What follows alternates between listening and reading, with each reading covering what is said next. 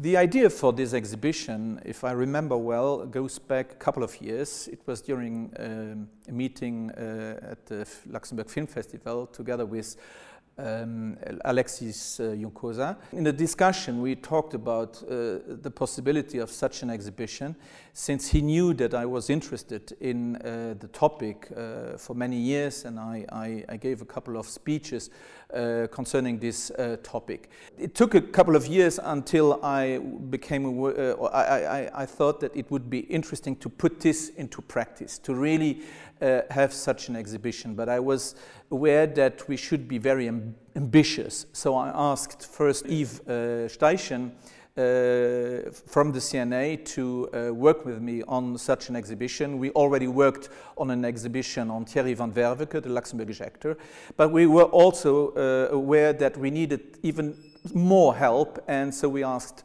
uh, Chiara Lentz to join us, and so we put we, we sat together and we decided to make something rather ambitious about the, uh, the, the, decor, the set design in Luxembourgish movies. And immediately we were aware that there were four main topics. The first one would be uh, to see uh, in what sense the set really plays a major part in every step of the production of a film, from the script to the screen. So this is a very pedagogical part of the exhibition.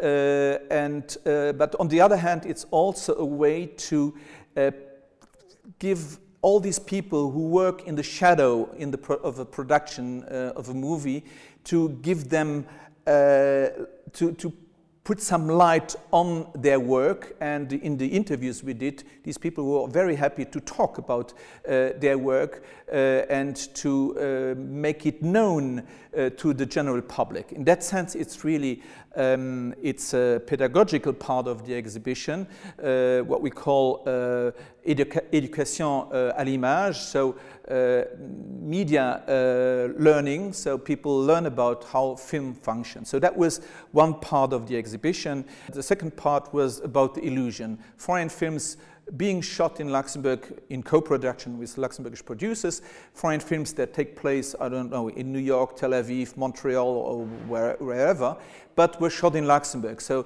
location scouts had to find places where they uh, could shoot such a movie.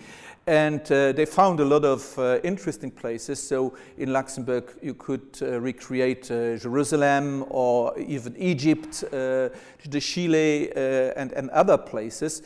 So it's through finding the right location, but also through uh, film language. So through editing, through lighting, you can change the set in a way that it really looks like um, the place it's supposed to represent. So uh, in the exhibition you have a, a, a series of rather fascinating and sometimes funny uh, examples of uh, places where films uh, have been shot in Luxembourg, not representing Luxembourg.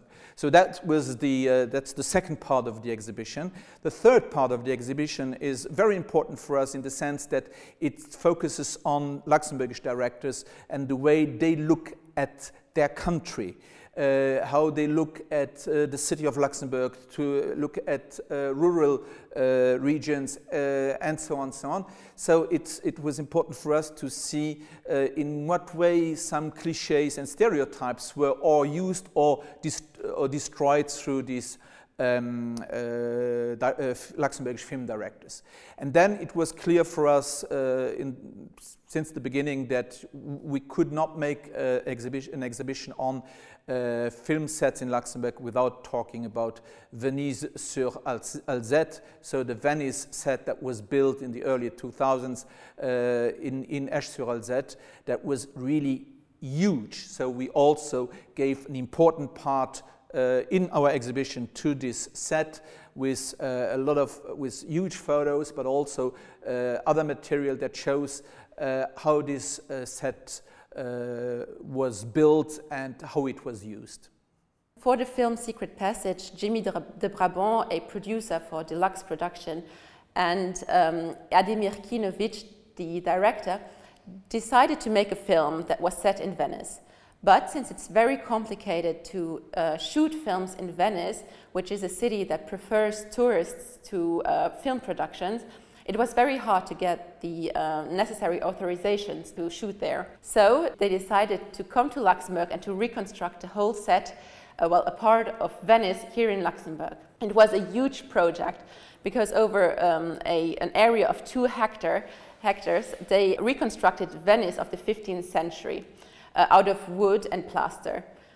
Um, the film, The Secret Passage, did not have a lot of su uh, success which uh, was very disappointing for the production. So they had, and since the decor was quite expensive, they had to uh, promote it so that other uh, film shoots could happen there. Uh, at that moment, um, the film The Girl with the Pearl Earring was, was shot and they decided to tr transform the Venice set here in Luxembourg into Delft. So the production designers and accessories had to be very creative in order to transform a set that was built to represent Venice into the city of Delft. Uh, so they only painted the facades with um, the, red uh, the red bricks that are famous in the Netherlands. The film brought a lot of star power to Luxembourg with actors uh, like Colin Firth or Scarlett Johansson. Um, and after this project was, uh, was finished, another big project came to Luxembourg, which was the film The Merchant of Venice by Michael Radford. Uh, Jimmy de Brabant, um, once again, uh, he knew Michael Radford and he proposed a decor to him to shoot his film here in Luxembourg. And at that moment, uh, other huge uh, Hollywood stars came to Luxembourg, like Al Pacino, Jeremy Irons, or Joseph Fiennes. Lastly, um, the, the set was uh, used for smaller projects that were partly shot here in Luxembourg, like the film Tempesta, um, The Thief Lord, uh, Lovely with Kevin Kline, or uh, the Luxembourgish short film Mondo Veneziano, directed by Antoine, Antoine Prum. Um, and the set was also open for tourists to come and visit it. Um, and so a lot of Luxembourgish locals as well as international tourists came to the set, which was very popular. In 2007, it became too dangerous and too expensive to maintain a decor of this size, so they had to um, deconstruct it in 2007.